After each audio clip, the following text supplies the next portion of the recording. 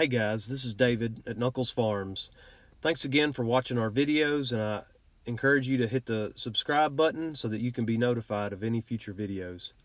This video is real short. Uh, it takes place on a Sunday. Uh, the weather was bad on Saturday and so this was Sunday after lunch and we had to get back for church service that night so I had a short amount of time. I couldn't go to both farms so today I said I was going to go to the, just stay at the home farm because I knew I had two calves on the ground that I could get tagged. So this is Saturday, Sunday, excuse me, Sunday afternoon, January 12th. And we had this beautiful Charolais Angus Hereford cross calf with a beautiful silver color. Um, I'd seen her earlier that week, a couple of days before, but just didn't have an opportunity to tag it until today.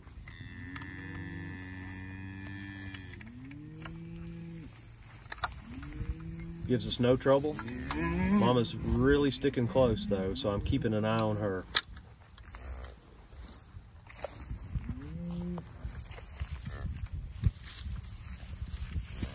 Look at that beautiful silver color.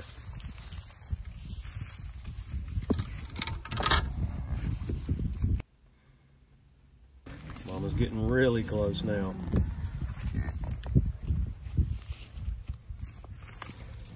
My tagging gun had been messing up, and so it did it here again where it wouldn't release the tag. And I actually split a calf's ear uh, earlier, um, and so it's giving me trouble. The calf is trying to pull out, and that is exactly what happened on the calf before. Luckily, it came out with no trouble gonna end up turning brown. Mama bumps her baby, says it's time to go. Yep, little bull.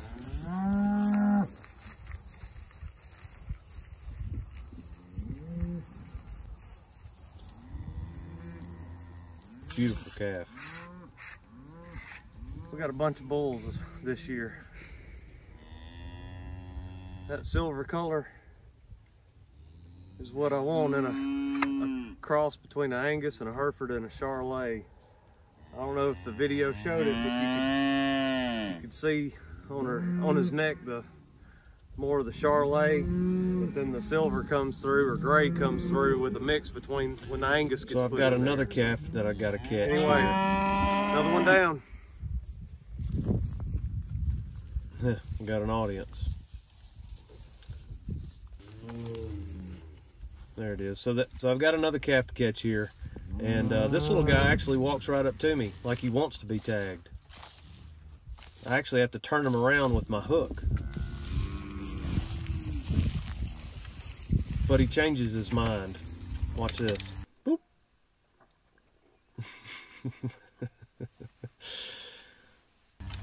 Amy found the slow-mo uh, button.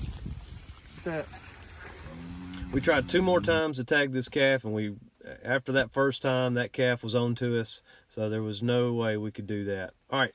Here's a week later january 19th uh, we're now at the woods farm. I was uh, out of town uh, on work all week long and um, i knew i hadn't gone to the woods farm the week before. So i guess it had been more than a week over about two weeks since i'd been to the woods farm a week and a half and uh, found this calf. Uh, looked, you know, already pretty old.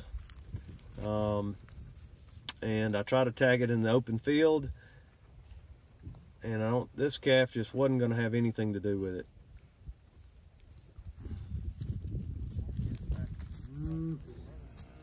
This was his first time seeing people, and he knew he needed to be careful. So I learned after this that I needed to, uh, you know, if they were only two or three days old, I had a chance to catch them in the in the field. But after that, the best thing to do was just to put them in a feedlot.